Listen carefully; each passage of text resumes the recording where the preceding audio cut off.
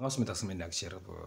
자, 오늘은 어, 낚시 바늘에 줄 매는 거 있죠. 어, 그거 한번 해봅시다. 자, 요거는 뭐냐 그러면 제가 조림 낚시를 많이 사용하다가 보면 조림 낚시가 여기에 다 묶여 있어요. 이렇게. 근데 요거 묶인 거 요거 버리지 않고 여기에 낚시 줄을 좀 매어 갑니다. 어, 편하잖아. 다 준비해서 가면.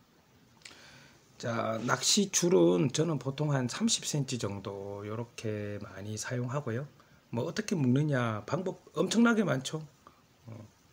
근데 자기한테 맞는 거 어차피 나가면 한 가지 아니면 두 가지 방법밖에 사용 안 해. 그죠? 자, 제가 하는 방법 알려드릴게요.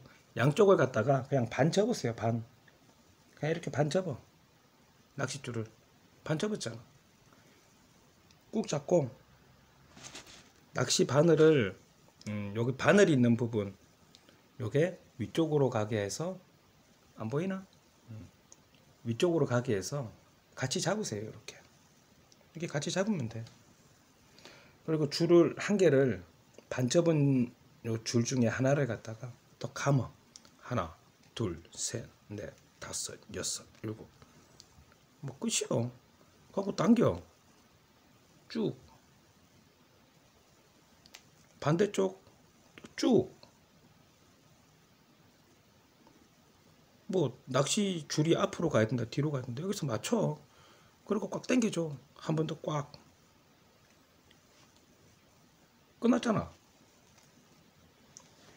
무엇이 중요한데 낚시 바늘 매는데 안 풀리면 되지.